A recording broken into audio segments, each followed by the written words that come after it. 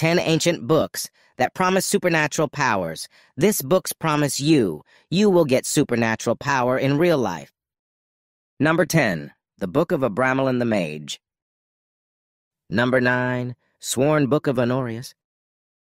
Number 8, Pseudomonarchia Daedonum. Number 7, Ars Notoria. Number 6, Arbatel de Magia Veterum. Number 5, Galdrabok. Number 4, Picatrix. Number 3, Clavicula Salomonis. Number 2, the Black Pullet. Number 1, Greek Magical Papyri.